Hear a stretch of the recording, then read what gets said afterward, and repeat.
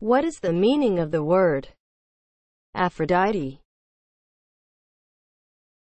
As a noun, goddess of love and beauty and daughter of Zeus in ancient mythology, identified with Roman Venus. Aphrodite is spelled A P H R O D I T E. Aphrodite